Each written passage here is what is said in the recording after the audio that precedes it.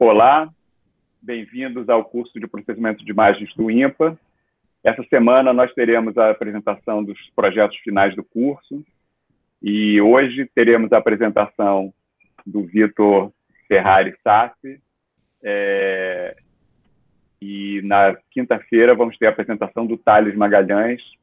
Os dois vão falar de trabalhos muito recentes da Facebook Reality Lab, usando machine learning e vídeo para aplicações em realidade virtual. É, e hoje o Vitor vai falar de uma aplicação importante que já está sendo usada em produtos de realidade virtual da Oculus Facebook, que é o Oculus Quest. O Oculus Quest e o Oculus Quest 2, eles têm um jeito de substituir o controlador por gestos da mão e por fazer o rastreamento do movimento das mãos. Então, toda a interação do usuário em realidade virtual é feita usando as mãos. E isso foi um grande desafio para Facebook. Eles ficaram durante é, bastante tempo, né? Um projeto que demorou mais de um ano para ficar maduro e chegar a tornar um produto, né? É, para colocar isso no Oculus Quest. E o Vitor vai apresentar um trabalho que foi mostrado no SIGGRAPH desse ano, em agosto, e relata toda a trajetória aí dessa pesquisa. Né? Então, é importante ver como é, os conceitos que a gente está discutindo aqui é, no curso, de usar machine learning para vídeo, como eles saem da teoria, da pesquisa, do, do desenvolvimento, para chegar num produto que é usado na prática pelos usuários. Então, agora eu vou passar a palavra para o Vitor e ele vai começar a apresentação. Obrigado, gente. O, o, o, o, o projeto, é, o nome do projeto que o Facebook desenvolveu é, é de Megatrack, que quer dizer é, Monochrome Egocentric Articulated Hand Tracking, que a ideia é usar câmeras monocromáticas, egocêntricas porque elas estão no próprio headset, e com elas conseguir fazer o tracking das mãos para poder criar uma interação uma, uma, interação prática entre o entre o usuário e o headset. É... O principal motivo de, de existir esse, esse projeto, o, o, inclusive na própria, na própria palestra do, do, do desenvolvedor, ele pergunta se é, você conhece quem tem mãos. E esse é o principal motivo. To, to, é, todos, todos temos mãos. E esse. E, esse é. Desculpa. A questão é a seguinte: as mãos elas, elas são extremamente importantes para o body language. E com elas, utilizar elas como método de interação com um dispositivo é, é, algo, é, é, algo, é algo que melhora a, imer, a imersão de, do usuário. Para ser conveniente, para isso ser conveniente, deve ser a aplicação deve ser robusta para poder para poder funcionar em diversos ambientes com diversas pessoas e toda a pesquisa ela foi, ela foi baseada ela foi baseada no que falta no estado da arte. Então o início da pesquisa, eles avaliaram vários métodos que existem de tracking de mão, que no caso são com câmeras RGB, é, com câmeras de profundidade. Eles avaliaram o que, que falta e quais são os problemas, e eles tentaram atacar esses problemas durante o desenvolvimento desse projeto. O, o desenvolvimento de uma aplicação que eles dizem que é, que é muito que funciona muito bem é a utilização, utilização de câmeras RGB com, com profundidade, com câmeras de profundidade integradas. E apesar de ser muito funcional, eles próprios dizem que é, é um é um hardware muito custoso para ser utilizado. E a, a, meta não é essa, a meta, a, uma das metas que eles tiveram era poder utilizar hardware que não, um hardware que não fosse tão caro e que funcionasse com pouco custo computacional. O segundo método que eles falaram é utilizando apenas câmeras RGB, que eles falaram que é um tópico muito popular estudado hoje em dia, utilizando só câmeras RGB para fazer o tracking de mão. Mas o problema é que para estimar posições é, é, é posições no espaço 3D apenas com câmeras RGB, RGB ainda é algo muito, é, não é algo muito confiável. As melhores situações, as melhores, é, as melhores situações que existem hoje na aplicação com câmeras RGB são, é, são, são utilizando deep learning. Então eles, eles, eles decidiram é, usar no caso da câmera, decidiram usar câmeras monocromáticas, principalmente porque as câmeras monocromáticas elas têm uma relação sinal-ruído superior é, com, com, a luz, com a, com, a, luz do ambiente. Então funciona, funciona melhor com, em, em, em diferentes ambientes. O... Outra coisa que eles comentaram que, que é, inclusive, crucial na aplicação deles é a utilização de informações temporais para poder conseguir para poder conseguir para poder conseguir fazer, fazer um bom tracking de mão sem sem com que a, a, a mão ela fique é, sem com que a mão ela ela ela não pareça fluida no dentro da, da durante a imersão e o último problema que eles que, que, que é que eles, que eles também decidiram atacar é o fato do, da quantidade de dados que tem para poder usar como dados de treino para a gente. O, existem, existem muitas, existem, existem muitos dados que não são grandes o suficientes para que eles é, para a aplicação deles. E além disso, eles comentaram também que uma coisa é, uma coisa muito, muito ruim da, da quantidade de dados que eram disponíveis para o público é que eles não tinham eles, eles não tinham uma grande generalização. Eles, é, eles tinham um, é, vários problemas em relação a se você mudasse, se você usasse ambientes diferentes do que o treino, se você usasse pessoas com roupas ou pessoas diferentes que, é, que fizeram o treino. Então, eles também. Esse foi o último tópico que eles levaram em consideração que eles queriam resolver para poder criar o. para poder desenvolver a aplicação deles.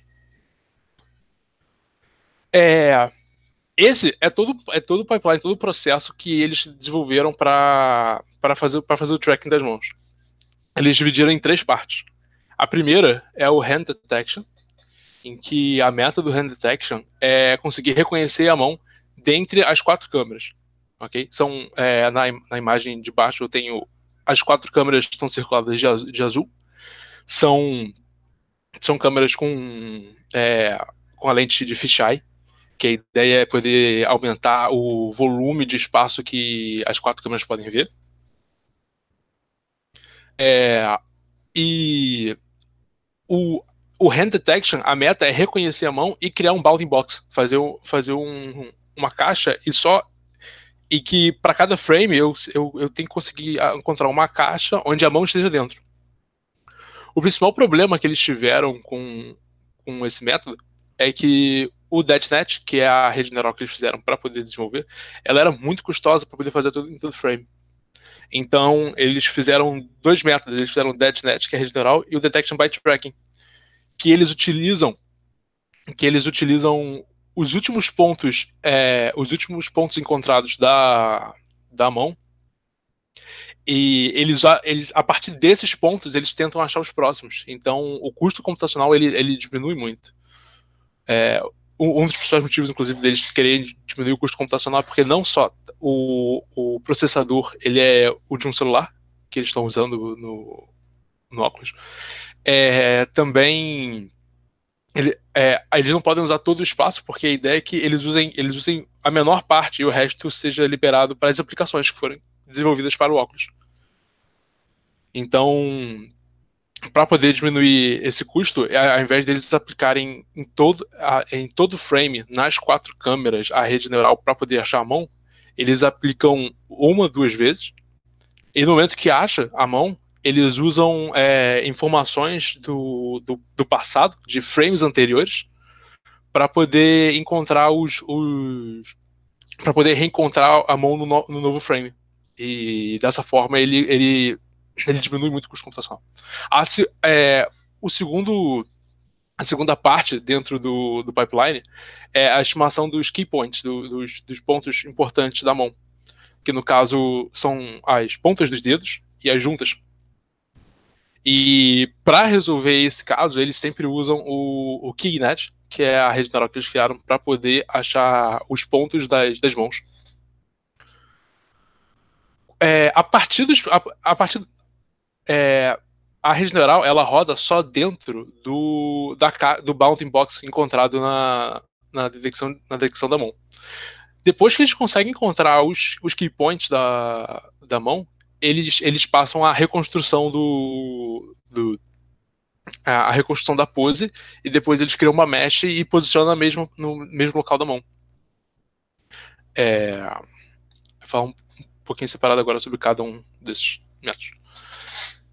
Então, o, o primeiro, o Hand Tracking Pipeline, como, como eu falei antes, né, eles usam um.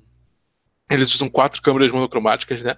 Ou a foto de cima, ela tá. O, o principal intuito dela é mostrar que é, o, como, o como ela consegue reconhecer com diferentes iluminações, diferentes ambientes, diferentes fundos. E o, e o principal um dos, um dos motivos disso acontecer é eles, eles atribuem o fato da câmera ser monocromática que ela funciona melhor em, em diferentes ambientes. E embaixo eu tenho os dois métodos que eles criaram acontecendo, que no caso é o DetNet e o Detection by Tracking. O, é, a, a, primeira imagem, como está escrito, é um input, a imagem é a imagem é, é, oferecida para poder achar, achar as mãos. Na segunda, é aplicado só o DetNet. E ele reconhece a mão, a, mão, a mão direita, mas ele não reconhece a mão esquerda porque ela está cortada para fora. A mão esquerda ela é reconhecida para o Detection by Tracking, porque o Detection by Tracking, ele, ele, o principal intuito dele é utilizar os dados do, de frames anteriores, né? Informações temporais, que é o tópico que eles comentaram no começo do artigo, que é deixado de lado.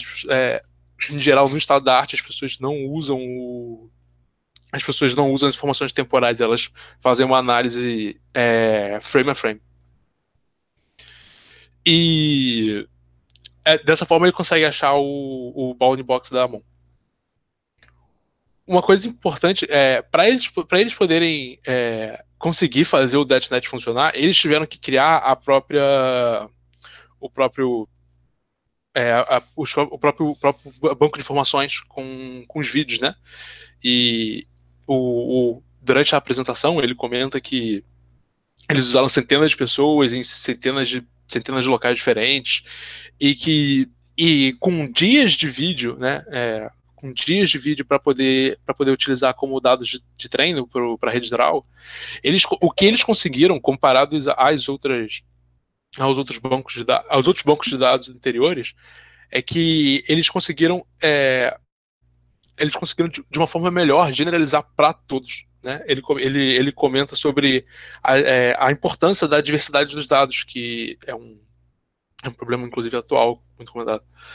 E com, com esse novo banco de dados que eles criaram para o óculos, eles conseguem, eles conseguem generalizar, eles conseguem generalizar de uma melhor forma qualquer pessoa em qualquer lugar, porque ele acredita que a detecção tem que ser inclusiva para todos. Então, então, a partir desse novo banco de dados que eles criaram e desses, desses dois métodos, que é o DetNet Detection by Tracking, eles conseguem fazer a detecção da mão e fazer o bounding box. A partir do bounding box, eles, é, a meta é conseguir achar o, os key points da mão. O, como, como eu disse antes, né, os key points são as juntas, né? Que aí você pode ver tipo o pulso aqui aí depois a junta dos dedos e a ponta dos dedos. O key point, ele foi. Ele, ao contrário do, do DetNet, o, o KeyNet, ele, ele acontece a todo frame, só que ele acontece só dentro do boundary box. E para fazer, fazer os dados de trash, né, eles, é, eles criaram. Ele, eles usaram outro método de detecção. Por quê? Porque eles comentaram que existem diversos métodos e a ideia é utilizar o, a vantagem de cada um para cada motivo. Então, o método que eles utilizaram para fazer a detecção, eles ainda utilizaram é, câmeras monocromáticas, mas eles utilizaram câmeras de profundidade. Tipo, na, na imagem que está na tela, a, a, circulado em azul tem as câmeras monocromáticas, vendo a, a mão de diferentes de é, diferentes posições. E eu tenho o circular de vermelho, a câmera de profundidade. E, e, a partir dela, eles conseguem criar os que. Eles, eles, fazem, eles criam os keypoints e criam os dados de teste para diferentes. É, diferentes. É, com diferentes ângulos. O, e com, com esses dados de teste, eles, eles conseguiram fazer um, um resultado bem bem, é, bem, bem proveitoso, na verdade. Ele, ele funciona em quase todas as situações. É, ele, ele, ele, explica, ele explica muito, inclusive eu peguei uma das imagens aqui para mostrar um, dado, um momento que não funciona. É... Não, não é isso.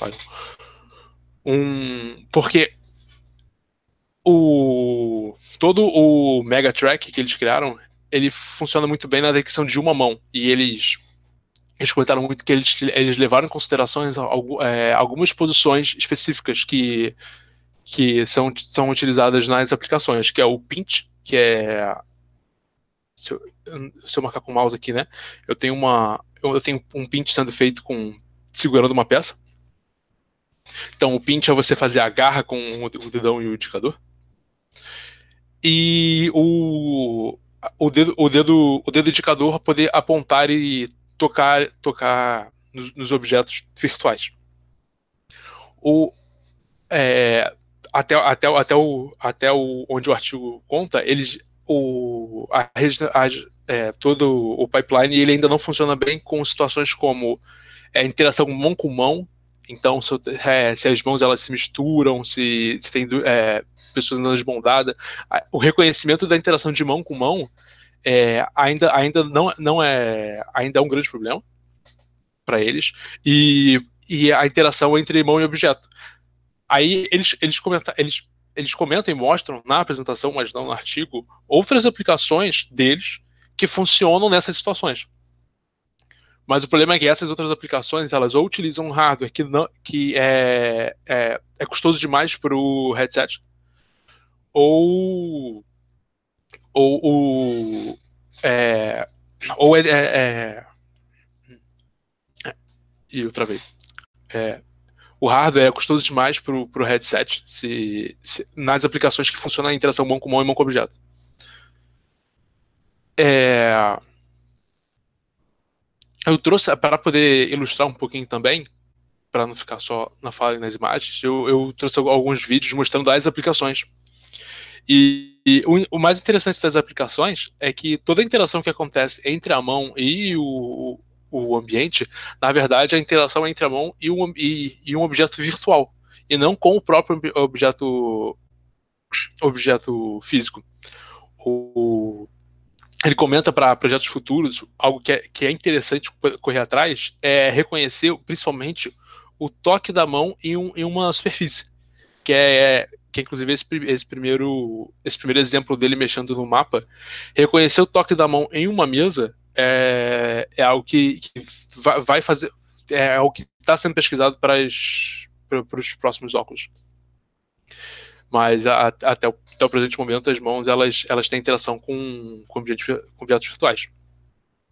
Aí eu tenho aqui um outro exemplo que uma coisa que os desenvolvedores têm corrido muito atrás, depois das aplicações é o estender a mão é, e ir além com a com a mão. Então esse aqui é um exemplo, é um jogo, é, é um jogo, é, ele, ele, ficou muito famoso no, no início do, da, é, dos consoles de realidade virtual, em que a ideia é que você você tem que cortar os quadrados que estão vendo. E a extensão da mão é o fato de você, além da mão, você poder esticar os dedos usando, sendo essas, é, essas espadas.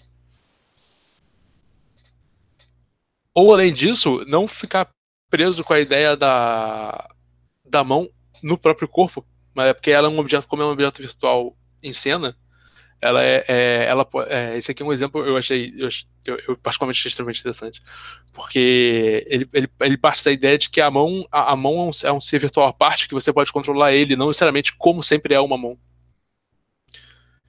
é, esse é o, é o é o, é o, é o projeto. Eu agora vou abrir para perguntas.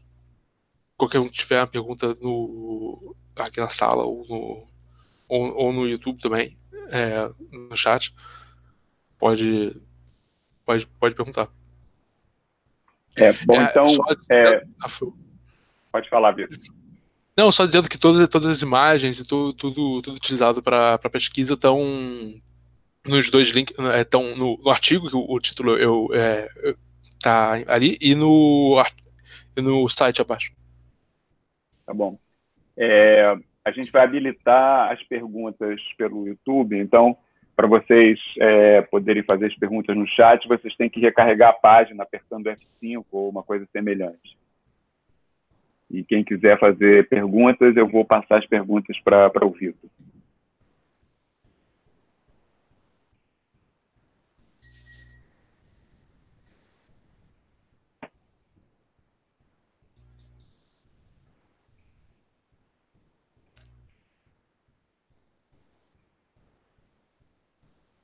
E também é, o Daniel e o Thales, se quiserem fazer perguntas, podem fazer, podem fazer por voz também.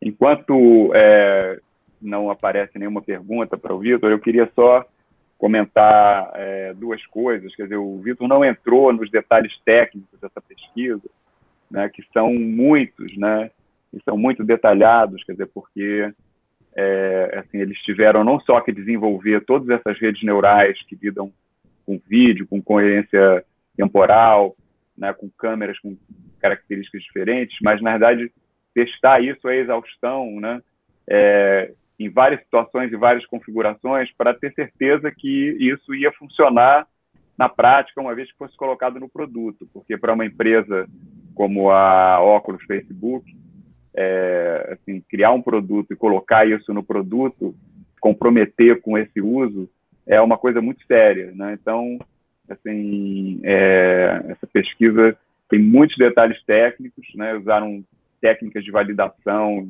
é, inovadoras e coisas assim que o Vitor não é, falou na apresentação dele, que quem tiver curiosidade para saber teria que ler o paper. Né? Além disso, é, tem alguns outros materiais disponibilizados lá no laboratório da Facebook, o Facebook Reality Lab. Né? É, a outra coisa que é, eu queria comentar, dois pontos que eu acho que são interessantes. É, um é um aspecto que, que na verdade, assim, é, eu acho que a detecção de mãos e fazer hand tracking e reconhecimento de gestos é um negócio que tem muitas aplicações, né? Como o Vitor falou, é, a, o ser humano se expressa, né? É, verbalmente, né? É, por, pela voz, mas também ele se expressa com um movimento do corpo, né? Chamado body language, né? A expressão corporal e é, as mãos são, na verdade, talvez a parte mais importante da expressão corporal e elas têm várias funções, né, assim, bem específicas, né, e é, em realidade virtual são usadas é, de verdade, né, quer dizer, é você poder apontar as coisas e fazer é, assim uma série de sinais, né, que a máquina entende, né, isso é muito poderoso, né, é, e é, assim eu queria fazer uma ligação da tecnologia com as novas mídias e os produtos é, que a gente é, hoje está muito acostumado, mas que é, foram entrando no cotidiano né, e causando uma revolução. Né? Então, um, uma das primeiras coisas é a detecção de toque. Né? Uma revolução que hoje todo mundo é, take for granted, né? quer dizer, assim, é, acha a coisa mais natural, é, são os smartphones e os tablets, né, que são todos controlados né, por gestos né, multitoque. Né? Assim, até um tempo atrás isso era uma coisa impossível e num certo momento você podia é, detectar o toque de um dedo e quando você começou a poder detectar o toque de vários dedos ao mesmo tempo numa superfície, né, você possibilitou criar interfaces, por exemplo, os smartphones para você controlar uma série de coisas, né? É, então, hoje, a maioria dos dispositivos móveis, toda a interface é controlada pelo, pelos gestos, né, com os dedos, né, com multitoque. Né? Tem alguns celulares que tem uma caneta né, que você pode usar para complementar, mas a maioria das informações são feitas usando multitoque. E é, esse comentário que o Vitor fez de uma aplicação, né, de você poder ter, detectar o toque da mão numa superfície, né, isso vai permitir você resgatar é, esse tipo de interação para a realidade virtual, né, que as pessoas já estão acostumadas a fazer isso né, é, fisicamente, né, no mundo real, e agora vão poder fazer isso no mundo virtual de uma maneira bem mais poderosa. Né? Inclusive, é, como é tudo usando visão, né? É, se a pessoa está segurando uma caneta né, um, e está desenhando numa superfície, isso também pode ser detectado da mesma maneira. Né? Então, tem uma porção de coisas importantes aí que seria um grande desafio. Né? É exatamente a questão da iluminação, etc. Né? É, por exemplo, é a sombra, né? se você tem uma, a superfície, você detecta a sombra, você pode detectar o contato de uma maneira muito precisa, né? E machine learning pode fazer você ir além disso, né? É, então, isso é uma coisa que leva, segundo o comentário que eu ia fazer, que é, na hora que você tem, né, você joga fora e, e elimina os controladores, né, e passa a usar as mãos para toda a interação em realidade virtual, né, como também o Vitor mostrou ali, né, quer dizer, a mão ela pode é, sair do seu corpo, né? É, tem é, a, aquele é, o, o, a família Adam, né, que tem uma mão que fica andando por ali e tal, né? Quer dizer, você pode em realidade virtual a sua mão ter vida própria, vamos dizer assim, né? É, e então, assim, com isso é, abre também perspectiva para você criar uma nova linguagem de interação, toda baseada em gestos e baseada nas mãos. Né? Então, com esses comentários que eu fiz, agora eu vou passar para as perguntas. Né? É, então, a primeira é uma pergunta do Cal, né? que ele, é, na verdade, são várias perguntas, eu vou fazer todas elas ao mesmo tempo, e aí você, quer dizer, vou fazer as três perguntas primeiro, e aí você responde elas, depois tem uma segunda, é, que ele fala que você poderia comentar um pouco mais sobre o modelo, né? perguntar se eles baseiam no OpenPose ou no PoseNet e qual é a arquitetura da rede. É, então, eu, o, o, modelo, eles, eles não se basearam em nenhum modelo, pelo menos é, eles, não, eles, é, eles, só falam sobre o, o, modelo desenvolvido por eles, que são os dois, que é o, o e o KeyNet. Eu posso, inclusive, compartilhar, eu, é que eu não botei no slide, mas a arquitetura é, tem, tem, a arquitetura tem no artigo, eu posso compartilhar para mostrar. É, deixa eu botar aqui. Será que eu, eu, eu posso fazer isso? Pode. Deixa eu, deixa eu mudar o compartilhamento aqui então.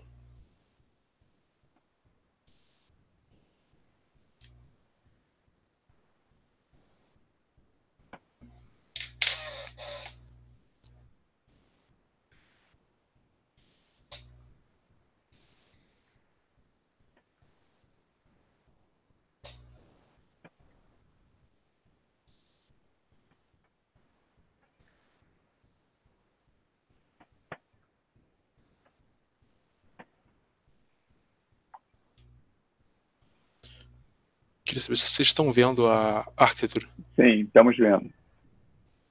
Então, no caso, essas é, é, no artigo eles, eles mostram as duas, eles mostram as arquiteturas que eles fizeram. Agora, como eles desenvolveram as arquiteturas, ele é, tem no, nas referências tem o tem os artigos dedicados para cada uma, na verdade. É, qual, qual foi a outra pergunta? Eu vou, é, na verdade, é, é, se é, você poderia comentar sobre o modelo, se se baseia no OpenPose ou PoseNet, qual é a arquitetura da rede? É, bem, então, a arquitetura da rede é, é essa que eu estou mostrando aqui. Agora, eles, eles, não, se, eles não se baseiam em, em, em nenhuma outra. Eles. É... Então, eles, a, a, no artigo eles não comentam se eles se baseiam em nenhuma outra. Né? Eu não li os artigos dedicados para essas arquiteturas. Mas eu, eu, eu, eu, compreendi que não, na verdade. Foi todo desenvolvido por eles no Facebook Labs.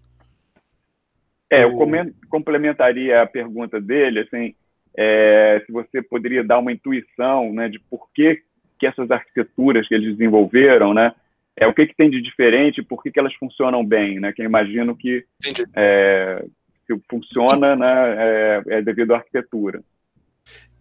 Então, quando eles. É, tem um momento no artigo que eles comentam sobre a diferença entre, entre a aplicação deles, a arquitetura deles e a dos outros. E a de, outra, a de, a de outros que eles, que eles citam. E eles comentam que a, a, a, principal diferença, na verdade, não é a arquitetura em si, mas o, o que entra, o, o input. É, eles.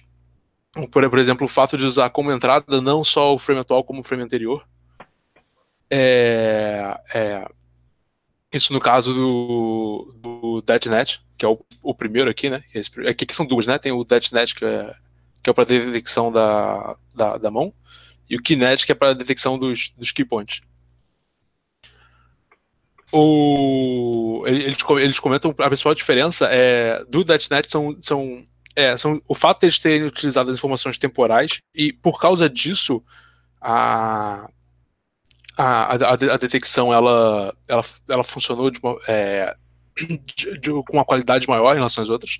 E no caso do KeyNet, é, foi comentado que o, o, um, o principal motivo de funcionar é não são, são nem as entradas, mas são os, os dados de treino que eles criaram, que eles criaram especificamente para o Kinet, que eles fizeram que é com a detecção de com câmera de profundidade. É, eu vi aqui, o, pergunta, perguntou também se o modelo funciona em ambientes de diferentes níveis de luminosidade. O, o, o Cal perguntou logo depois. O, é, funciona, e, e, na verdade o, ele, ah, é por isso que, a, que a, é, eles dizem que funciona. E o, o motivo da câmera ser monocromática é, é, é, é, é para poder funcionar melhor em, em diferentes ambientes principal motivo da câmera monocromática. Porque ela tem uma relação muito melhor de sinal e ruído quando tem pouca luz. E além disso, o, é, outro motivo que eu acredito que aí eles não afirmaram isso, mas eu acho que também influencia muito. O fato do, do dos dos dados de treino terem sido é, ter, ter, serem tão, tão, tão diferenciados em relação a tanto quanto pessoas quanto a locais diferentes, eu acho que isso também pesa muito na hora de, de funciona em ambientes de diferentes níveis de luminosidade. O, Thales, o Guilherme... É, fala.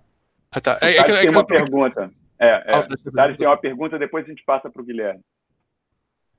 Opa, estão me ouvindo? Pode falar, Thales. Sim. Eu fiquei com uma dúvida, assim, que na apresentação você mencionou que, assim, faz sentido, né, que eles estão tentando não usar muito, muito, muito do o hardware do dispositivo, né, porque tem que sobrar para rodar os jogos e tudo mais, que eles rodam aquela etapa de de detecção da mão só no iníciozinho e depois eles fazem um usam um, um esquema mais barato, né? Só que eu minha dúvida é se eles chegaram a mencionar assim, como é que eles resolvem nos casos em que perde o tracking quando a mão tipo, sai do campo de vista do, do sensor, alguma coisa assim, se eles rodam de novo aquilo, como é que funciona? É, na, na verdade, ele, ele, eles rodam de novo. Eles têm. Eles têm. É, eles, ele, o método é o seguinte: eles fazem o. Tem o, o Bowling Box, né? Depois que ele faz a primeira vez o, o DeathNet em cada uma das, em cada uma das, das quatro câmeras e fazem Bowling Box. Depois do Bowling Box, em relação ao frame seguinte, eles veem esse, esse eles usam esse, esse, método de detecção by tracking só dentro de um bound box que é, eles, é 20% maior, né? E eles vê se existe dentro a mão com esse detection by tracking. No momento que ele, se uma das mãos passa a deixar de existir, ele roda de novo o DeadNet. E além disso, eles, o que, eles fizeram também foi o seguinte: é, para cada frame existe uma probabilidade do DeathNet rolar, acontecer. Então o DeathNet ele não, ele não acontece só quando a mão se perde, mas também existe uma probabilidade para o DeathNet ele acontecer em algum momento é, em algum frame para eles, fal eles falaram que quando eles fizeram isso é, diminuiu o jittering é, o, o, o, shake da mão é a mão, a mão tremia, tremia menos porque sim, sim. eles randomicamente, às vezes, eles passavam DeathNet de novo. Entendi. É. Só complementando isso que o Vitor falou, né, uma questão em termos de recursos, na verdade, é que, é, no caso, o, Oculus Quest, o Quest 2, né, é, são completamente autônomos, não estão ligados em nenhum computador. O próprio óculos é um computador que ele tem que fazer todas as funções né, de visualização, né, é, de é, os processamentos da simulação da aplicação em realidade virtual, né, comunicar com Wi-Fi, né? Então, assim, essa parte de detectar e fazer o, o, o acompanhamento da mão, né, o hand tracking, é, isso tem que usar uma quantidade mínima de recursos computacionais, né? É, tanto de memória quanto de recursos computacionais, é, porque tem que deixar espaço para o resto do sistema funcionar, que é limitado. Né? Se estivesse num desktop, você teria muito mais recursos. Né? É, e é, com isso, né, quer dizer, todas essas coisas que o Vitor mencionou, por exemplo, usar coerência temporal, etc., né, e até você ter uma rede que ela seja uma rede bastante compacta, né, que não tenha redundância, como o Luiz Timmer falou na, na aula passada, né, que você conseguir fazer. É, eles falam no artigo, eu não me lembro mais, né, quanto que eles reduziram de tamanho da rede original para a rede que está embarcada no do Quest, né, que é uma coisa assim impressionante, né? É, isso é fundamental para funcionar bem e ser um produto viável, né? É, aquele tem sido bem impressionante assim de ver a quantidade de coisa que eles conseguem fazer com aquele hardware de celular bem limitado, né? É, pois é. É, é, é, é, é interessante, inclusive, que durante a, a, pesquisa eles falam sobre eles falam sobre como funciona a aplicação no, no, no processador aquele Octagon e como funciona no, no GTX, né? E a, a diferença é, é descomunal. Agora, sobre a, a, a diferença do, do. O que eu ia responder agora, na verdade, é, eu vou aproveitar que o artigo está aberto aqui. Ele respondeu o Guilherme, que ele falou sobre a posição 3D. Isso foi realmente algo que eu, eu, eu, acabei passando batido. Mas como a partir da imagem 2D faz a, a posição 3D, né? eles fazem um, eles fazem dois heatmaps para isso. Deixa eu pegar aqui. aqui. Eles criam dois heatmaps para para cada mão. Em que uma delas é, fala é, o, o heatmap é para cada né, é para cada é key point de cada mão, eles fazem dois heatmaps. Um deles é a posição da mão num, num âmbito no âmbito 2D da, da imagem e um segundo é em relação a é, é, é em relação à distância, o quão distante esse key point está da câmera. E a distância do, do, do key point é, ele faz um cálculo a partir do porque a câmera tem a lente tem a lente de fisheye. É, ele, ele, mostra o cálculo, inclusive tem a, a, o artigo que faz o cálculo. Mas a ideia é que ele calcula a distância é, a distância a partir do do ângulo em que em relação à câmera onde está a, a, posição 2D e a, qual é essa, essa angulação daqui onde do objeto é horizontal do objeto e horizontal da câmera é, ele, ele usa esse, esse, esse método com, com as coordenadas polares porque a câmera é fisheye não sei se eu comentei isso antes é, pois é, é, só complementando também, como eu falei, quer dizer, é, assim, é, eles tiveram que adaptar todo esse trabalho para o sistema que eles estavam desenvolvendo, né? E na verdade, uma grande parte é, de todos os métodos do estado da arte foram desenvolvidos para condições diferentes, né? Aqui no curso a gente não falou muito né, da matemática de reconstrução de 3D, né? E é, como você a partir de uma câmera calibrada e geometria projetiva, você faz reconstrução 3D usando triangulação e coisas assim, mas isso são para câmeras é, comuns, né? câmeras é, perspectivas, né? que usa é, uma lente convencional. Né? É, no caso aí, quando você usa uma lente é, olho de peixe, né, você tem uma, uma, uma projeção que não é outra projeção perspectiva comum, ela é uma projeção não linear, ali altamente não linear, então você tem que, na verdade, é, adaptar esses métodos todos né, para a arquitetura e a configuração do sistema. Né? Então, é, o que é importante nesse trabalho é que os autores, isso também, né, o Vitor não detalhou muito bem no começo, mas assim, eles fazem uma revisão extensa do estado da arte, de todos os trabalhos que foram feitos até agora, e tem que, na verdade, a partir desse conhecimento do que funciona bem, né, é, escolher técnicas para implementar e depois adaptar essas técnicas né, para é, o, o, produto em questão que tem características diferentes. Né? Então, assim, agora a gente está discutindo algumas delas aí. Né? É, bom, o Guilherme aparentemente ficou satisfeito com a explicação. É, tem mais alguma pergunta? É... Eu tenho umas perguntas. Ah, joia. Eu entendi direito. Então, ele tem. O headset tem quatro câmeras, é isso? Isso. E ele aplica a DetNet para cada uma delas separadamente? Aplica. É, inclusive, ele, ele, ele, ele, ele comenta que tem é, ele, ele a, a, primeira vez que ele faz, ele aplica em uma câmera de cada vez. É, ele, ele fala que o motivo de não fazer com todos ao mesmo tempo é porque, no início, é porque. É por causa. Pelo mesmo motivo que a gente comentou antes, que é de, do, do custo operacional de fazer o trabalho ao mesmo tempo. Agora, tem, tem um momento em que ele, ele, ele faz o, o estéreo. Só que ele não, se, ele não se baseia apenas no estéreo, principalmente porque.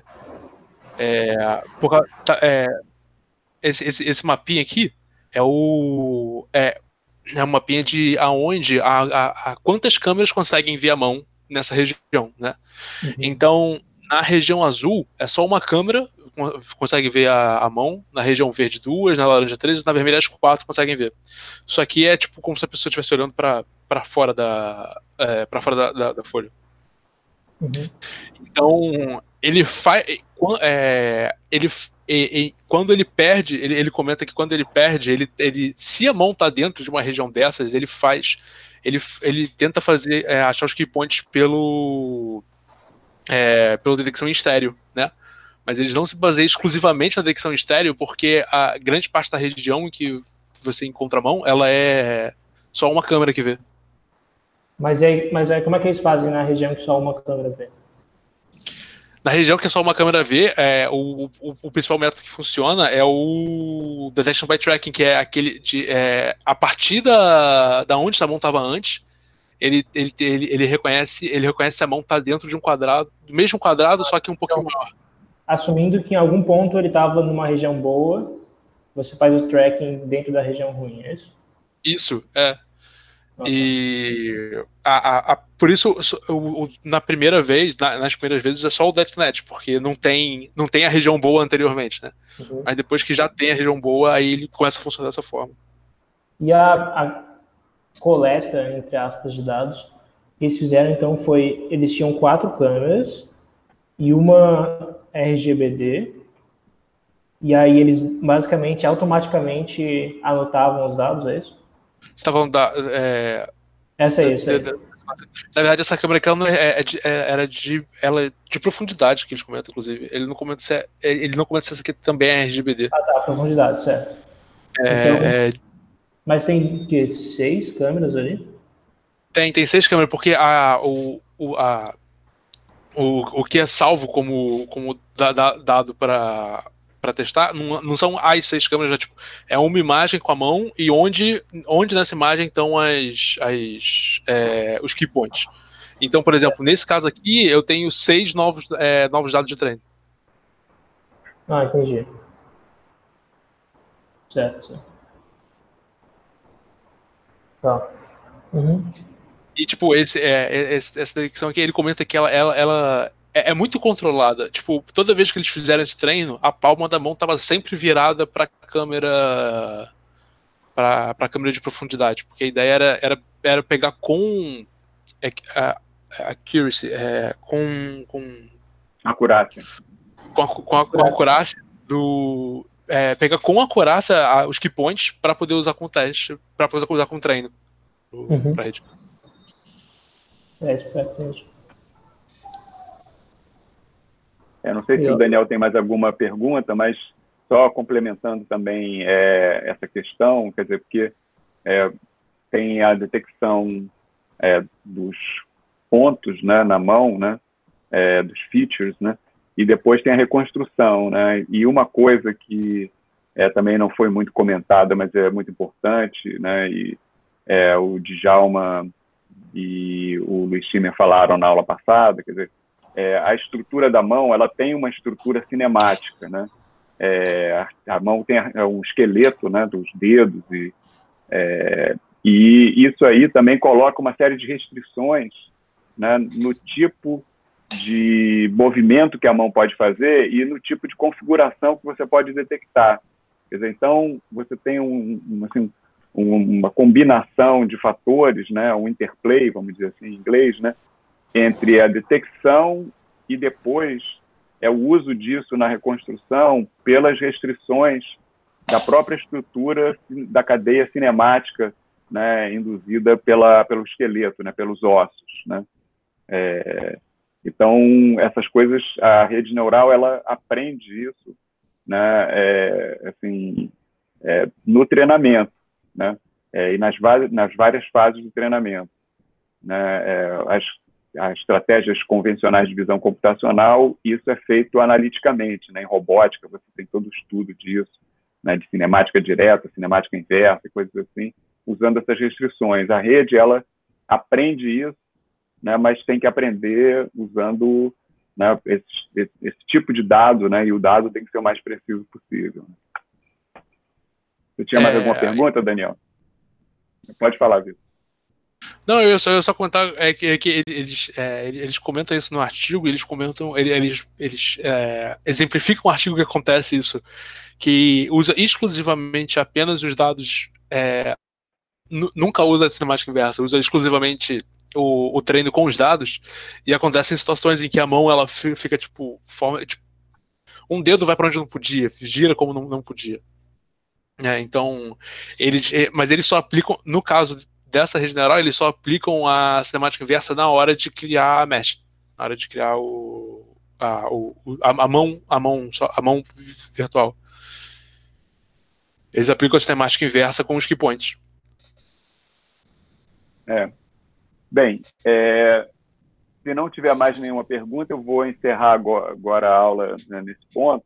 Né? Eu acho que foi bem discutido esse assunto e mostra né, que essa é uma área de pesquisa que é, assim está evoluindo, né, e vai passar, né, é, assim dessa fase inicial onde você está usando né, a detecção de gestos e acompanhamento da mão, é, e uma vez que você tem isso, aí você vai começar a usar isso né, nas aplicações de maneira muito forte. Né? Então, toda pesquisa agora né, é, vai é, é assim, é, ir na direção disso uma hora passar a ser comum, né? Quer dizer, do mesmo jeito que hoje nós interagimos com um smartphone com os dedos, né? É, nas novas mídias de realidade virtual, né? Você vai interagir com as mãos do mesmo jeito que você está falando e está gesticulando e não está nem pensando direito, né? Como é, o que, que você tem que fazer, porque você faz automaticamente. Isso aí vai acontecer de uma maneira muito é, natural, né? É, nas interfaces nessas novas mídias, né? Usando detecção de gestos e acompanhamento do movimento das mãos. Né? Então, assim, é, é, as boas interfaces são aquelas que você não precisa aprender, você vai fazendo e vai acontecendo. Então, é, isso aí abre espaço para esse tipo de coisa, principalmente porque vai ser todo baseado em aprendizagem de máquina, vai estar integrado com as aplicações. Né? Então, descortina todo esse universo de pesquisa aí para frente, em próximos cursos a gente provavelmente vai estar estudando isso. Eu acho que o Thales tinha mais uma pergunta, antes da gente terminar. Não é, não é pergunta, assim, queria aproveitar que não tem pergunta, né? Que eu queria só mencionar um ponto que eu achei que seria interessante, que o Vitor mesmo falou durante a apresentação, essa questão da imersão, né? Da, a imersão é você sentir que você está realmente dentro daquele ambiente 3D, usando óculos de realidade virtual e tudo mais. E assim, tendo acompanhado essa, essa história da, da tecnologia, né, recentemente, eu lembro assim, na época que começou a lançar esses, esses óculos 3D, comerciais mesmo que as pessoas usavam, fora assim aqueles aqueles antigos bem caros, que quando começou não tinha não tinha nem aqueles dispositivos, aqueles hardware para mão, né? Os tradicionais. Era só o display. E que um negócio interessante é que quando lançou essa, essa tecnologia de você ter a interação com a mão, né? Que, assim, pode não parecer óbvio isso, mas aumentou essa, esse fator de imersão das pessoas, né? As pessoas realmente se sentiam que estavam dentro do ambiente só de ver a própria mão, mais do que com só com display. Tem histórias até de pessoas que ficavam enjoadas usando, usando óculos de realidade virtual e só de ver a mão isso já ajuda. Não sei, é uma coisa, sei lá, meio que instintiva, né? Então seria interessante ver como é que isso vai mudar com essa tecnologia mais avançada que você não tem nem o controle, né? Só você só usa a sua mão naturalmente e ela aparece dentro do ambiente. É, exatamente isso que você falou, está ligado exatamente com a, como as coisas parecem natural para o ser humano, é que é o feedback, né? Quer dizer, a boa interface, ela tem um feedback. O feedback é, ele pode ser visual, pode ser tátil, né? É, mas ele tem que funcionar e não pode confundir o usuário, né? Então, na hora que você coloca essas coisas, você começa a ter isso de uma maneira muito natural. E, é, assim, a Facebook, na verdade, quem está acompanhando a evolução disso, na última é, F8, né, eles mostraram o plano deles para os próximos 10 anos, né, 15 anos. E daí você vai ter, é, que a gente chama de realidade expandida, né, que mistura a realidade virtual com a realidade aumentada, né? É, e daí é, você tem exatamente essa questão que a gente discutiu, né? Você ter objetos virtuais, objetos é, físicos, né? Coexistindo, né? É, de uma maneira muito natural, né? Usando a inteligência artificial para isso.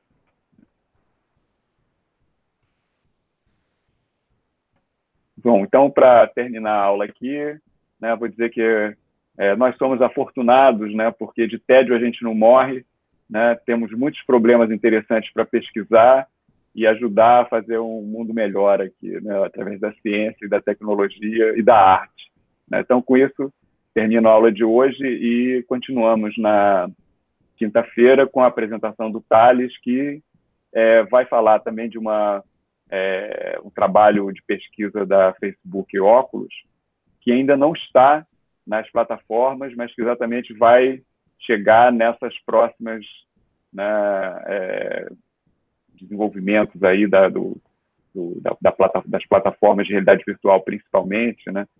E vai ser importante para até a situação que a gente está vivendo agora na situação de pandemia e comunicação né, remota, né, que é você ter é, avatares e ter comunicação olhar olho no olho e coisas assim. Né? Então, é, a Thales, na próxima, próxima aula, vai falar disso e daqui a, provavelmente no ano que vem, vamos começar a ver os primeiros resultados disso em produtos. Então, obrigado a todos e vamos encerrar a transmissão aqui.